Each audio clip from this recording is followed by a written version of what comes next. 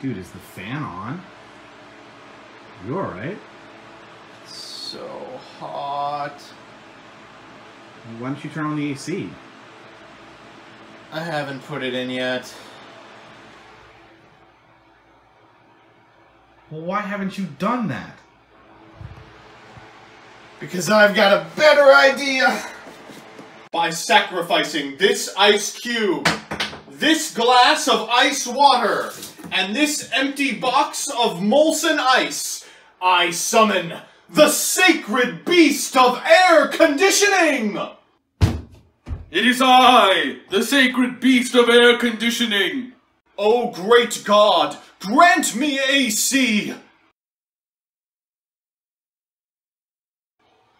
Just put the AC in yourself, you lazy jerk off.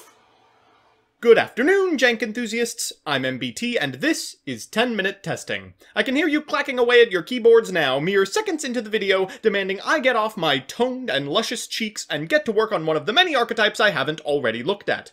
Joseph, there's no Aramage TMT. Joseph, where's the Ritual Beast video? Joseph, when are you going to perfect Tamur Reclaim? Well, listen up, chumps. Above all else, I serve the algorithm, and as people purchase the Sacred Beast structure deck, they're going to be desperate to find a way to play these unplayable chonkers, and I think I've found one. Consider the last video a tech demo for today's deck, Sacred Beasts.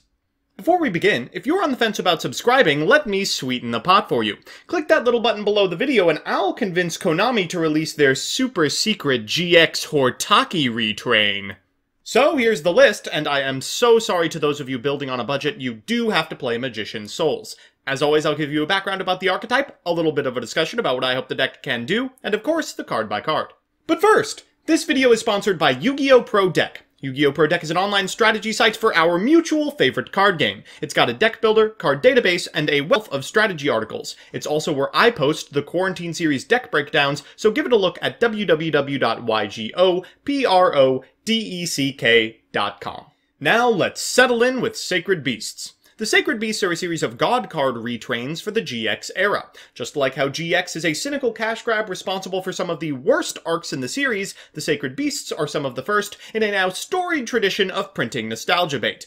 Oh, quiet down in the comments! According to my analytics, none of you were even born when DM was airing. Anyway, in order to make these laughable losers playable after their near upset last structure deck poll, Konami printed a series of spells, traps, and monster support to enable their Evangelionian frames. The new support is just about as pushed as you'd see on a custom card subreddit, but unfortunately, it still isn't likely to catapult these chonkers to playability. That is... not without the aid of a master deck builder, of course. I think this is about the best you're going to get out of the new decks. It focuses on a single beast, Hamon, who also happens to be both the best in a vacuum and has the best support spell. The whole list is raw synergy. Souls can pop the continuous spells after you've already gotten value or before you add them back with 7th. Exodius resolves the ever-present issue of running out of beasts or lacking damage to close the game, and Deck Lockdown serves a fantastic role as an extremely targeted floodgate, which also happens to be a continuous spell. And outside of Poisonous Winds, there aren't many of those in the game. So with that, let's get into the card by card. Firstly, three Hamon, Lord of Striking Thunder! Next is 3 Dark Summoning Beast, who's fantastic outside of his battle restriction. After that is 3 Dark Beckoning Beast, who makes the deck tick, and 3 Chaos Summoning Beast, your Hamon Summoner, and Paradise Searcher. After that is 3 Magician Souls, and its target, 2 Exodius, whose stat line is perfect for our pal Gustav. For spells, we're on 3 Seven Spirit Gates, 3 Cerulean Skyfire, my second favorite Skyfire, 3 Allure of Darkness, 3 Called By, 3 Deck Lockdown, 2 Fallen Paradise, an Upstart, and a Foolish Burial. For traps, we're on 3 Infip and a Skill Drain. In the extra, we're on a bunch of beefy boys. Liba, Sky Palace, Dora, and Gustav, followed by Boral Sword, Knightmares Unicorn, Phoenix, and Cerberus, Borg, Mask, Linkuriboh, Anima, Clara, and Rushka, and realistically, the only one you're ever going to go into, two copies of Almiraj. So with that, let's jump into the games. Our first match is up against Generaider, and while one of the cards in our opponent's opener is setting off some alarm bells, This should be a fantastic opportunity to showcase just what this deck is capable of. We've drawn fantastically, and we're going first. We're going to lead with a copy of 7 Spirit Gates Unleashed, that's going to add a Chaos Summoning Beast to hand. We'll normal summon a copy of Dark Beckoning Beast in order to get a Hamon to our grip before using our extra normal on Chaos Summoning and its effect to special the Hamon. We'll activate Chaos Summoning's effect to get a Fallen Paradise to hand before Link summoning an Almiraj and using 7 Spirit Gates Unleashed to bring back a Dark Summoning Beast that we pitch. We'll go into a second Hamon, activate Dark's effect to get the third to hand, then activate Fallen Paradise, fire that sucker off, ooh, and find ourselves a copy of Deck Lockdown. We'll set it and Twin Cerulean Skyfires before passing it back to our opponent. Good luck. For turn, they draw a copy of Loptr. Okay, they haven't completely bricked. They're going to normal summon a copy of Loptr, activate stage, will negate the effect of stage. Right, yes, that's how that works. Okay, afterwards, they're going to be able to get off a copy of Awakens just because we mismanage our Cerulean, but shouldn't be too big of a deal. We'll activate Fallen Paradise here, then they will activate Harr. We'll send this copy of Exodius to the graveyard before banishing our second copy with Allure. We'll activate Upstart Goblin and normal summon a copy of Dark Beckoning Beast. We are just getting material on board. We're going to summon via its own effect this copy of Hamon before activating another copy of Cerulean Skyfire, bringing back a Dark Beckoning and going into Borrelsword. Finally, we have enough attack to get over the Harr, so we'll do so with the Borrelsword, and from this position we can't possibly lose. We'll do a thousand with the effect of Hamon, putting our opponent low enough that we can kill them with the other direct. Our second match is up against Chaos Dragon. This has been an extremely exciting deck to see flourish in the wake of Toon Chaos's release, but it's still the first week. As a result, people aren't particularly practiced in the combos. Our opponent's going to lead with a copy of Chaos Space, adding a White Dragon Wyverburster to hand. They'll special summon that and a copy of Striker Dragon, triggering the effect of White and Striker in sequence, adding a Black and a Boot Sector Launch to hand. Next, they'll special summon a copy of Black, activate the Graveyard effect of Chaos Space, and use Boot Sector Launch's effect to summon a Tracer from hand. They'll activate Tracer's effect, destroying the Boot Sector Launch to get a copy of Silver Rocket from deck, to go into a copy of Dillingerous, Savage with a 1-mat attached, and a pass? Feel like they could have done more. We're going to lead with a copy of Dark Beckoning Beast. Afterwards, we're going to activate this effect of 7 Spirit Gates. It gets Ash, but it remains on field. We'll normal summon a copy of Chaos and activate Foolish Burial in order to send a copy of Dark. We'll use Dark's effect later in the turn. We don't want to lock ourselves out of the battle phase. We'll use Chaosis to get the Hamon out of our hand. We'll activate 7 Spirit Gates now that we have Hamon to get back this copy of Skyfire that we discarded. We'll activate Fallen Paradise, proceed to battle phase, and 4,000 is larger than 3,500. Now that we're safely out of the battle, we'll activate Cerulean Skyfire and Dark's effect to get another copy of Hamon, finally ending on a Link summoned Almiraj. Now this does give our opponent a fantastic target for Dillingerous, but no big deal, we can just activate its effect. Okay, our opponent will lead with a copy of Monster Reborn, and we will negate it! Ha ha! Skyfire! They'll go into a copy of Safer to use its effect to get a copy of White Dragon Wyverburster, and Safer's second to put back this copy of Borreload. They're going to bring back the Tracer, activate Tracer's effect in order to summon a copy of Recharger from deck. They'll go into Savage, but with no links in Graveyard, that card sucks. Okay, we should be able to win from here. We'll use Unleash to get a copy of Dark Beckoning. We'll activate Fallen Paradise, and a second copy of Seven Spirit Gates. We'll activate our Extra Normal to get a copy of Chaos Summoning Beast onto our side of the field, attack it out for Hamon, and go to Battle Phase. We'll attack, deal a 1,000. They'll activate the effect of Recharger to bring back this copy of DMD in defense position. No big deal, we're still doing a 1,000 every attack, which is more than enough to put together lethal. So it's time for game 3, and you know what that means, a best of 3 versus meta. Our opponent's playing Synchro Eldlich which is miserable, but we could do it. We're going first, and we have to draw something fantastic off this allure. Ooh, Dark Beckoning Beast fits the bill. We'll activate its effect and eat an infinite impermanence. That's just about the worst case scenario. It needs to remain on field to get our extra normal summon, so we can't even manage a Hamon. Our opponent's going to lead with a copy of Upstart Goblin. Next, they'll activate the effect of Magician Souls, and I can tell this game is already over. However, I refuse to concede. I must get ad revenue. They're going to set a copy of Conquistador before, ooh, drawing into a tuning. How about that?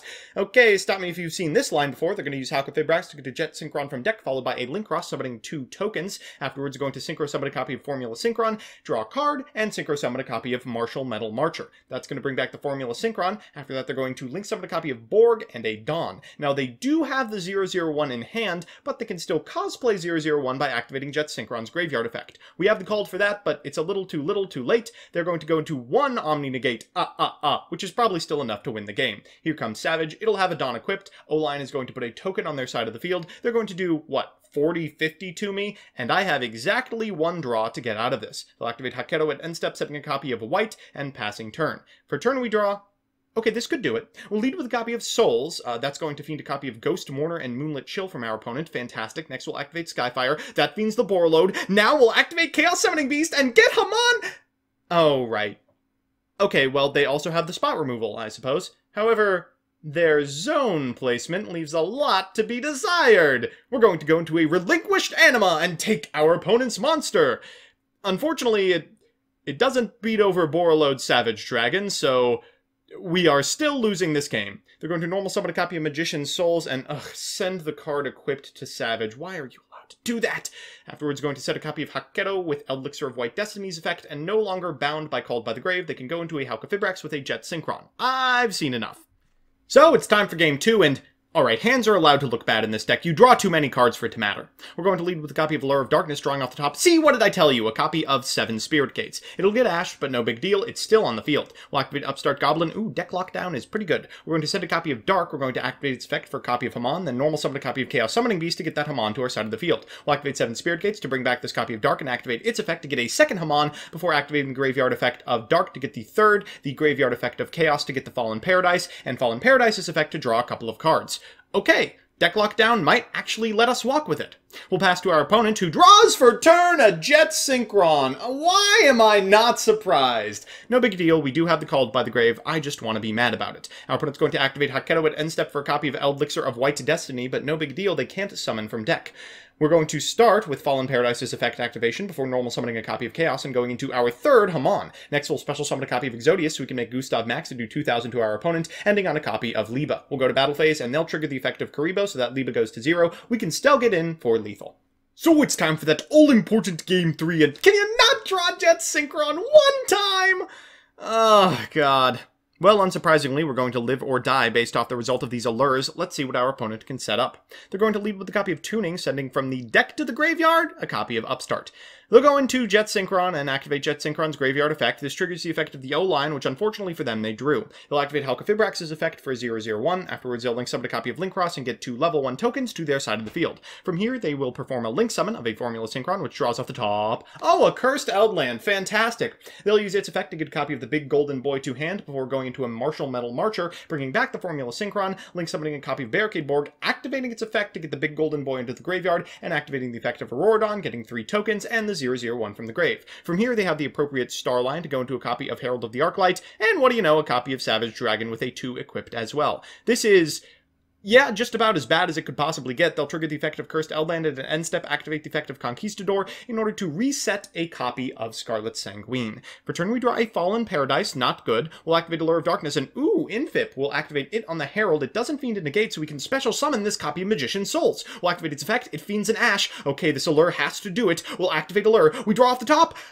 pretty much nothing. We'll activate Dark Summoning Beast's effect. It gets Boar loaded, of course, and we'll activate its second effect to get Hamon to hand, but with no extra summon, we'll activate Skyfire and resign ourselves to our fate. So we're back with the deck, and while unsurprisingly it lost to Lich, Hamon is still plenty electrifying. Let's do the pros and cons.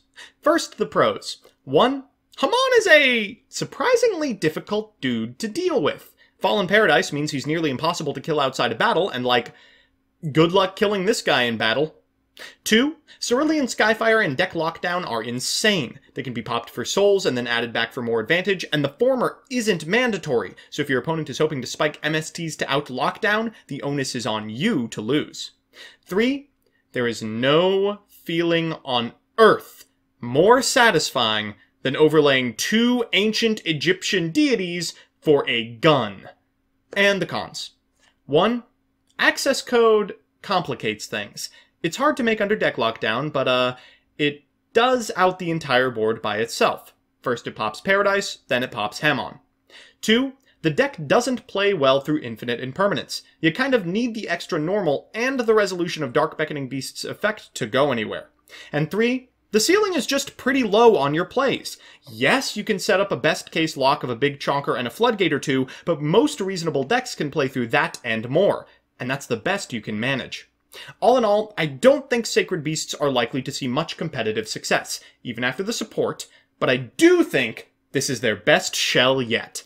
So that's that. As always, thanks to my patrons, MeepMoto27, Dominic Ernst, Alex Perea, Candyman, Crispy, Mika Reichman, Sir Tachyon, Stevie Blunder, Tyler Slacks, Tyrese Biggums IV, Andrew Horseman Linderman, Austin Zell, Chad Bortz, Presley Case in the Fourth, Moira Brownwolf, Angry Bread, Lucky Number 5, Amid Elefandi, Nick Extreme 99, Muna Arashi, Jason Leonard, Andrew Boyko, Dunkoro, Nick Dolores, Marty Caldwell, Blue Boy, Shane Meadow Edits Pronga, David Daniels, Red Eyes, Arkand, Jose Luis Cortez, Yuri is Best, Mike Carlotti, Meds for Feds, Josh, CJ Alex, Darcy Tevs, Mitchell Cook, Sam Soon, Kurakaze, Chorps Away, Haruf, Jane Linya, Lucas Hansen, Algis Marcin Kavicius, Lavender Lemonade, Zach McKee, Gustavo Secon, Siberian Rabbit, Pro FP2, Gamer Games, Michael Oskvark, Dan the Man Hoban, Billy Williams, Connor Kid, Dive Missile, This Machine 237, Blab, Lake Root, Standards Objective, Jeff Leonard, Emperor Stove, TJ Steakhouse, Pro Yugi Dad, Picnic Blasted, Lawrence, Gel Du Rado, Ernesto Ibarra, Fighting Fang Wong, Donnie Fillerup, Isaac Jackson, Second, Lucas Geartis, Adam Trevino, Adrian Bra, Andrew Benson, Distrin, and this last person I can't pronounce. As always, if you want to be part of the process, please consider subscribing. And if you want to watch me play these decks on stream, follow me on Twitch as well. See you next time.